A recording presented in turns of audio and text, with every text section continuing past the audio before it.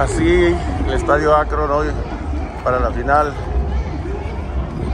Chivas contra Tigres aquí Guadalajara, Jalisco, México.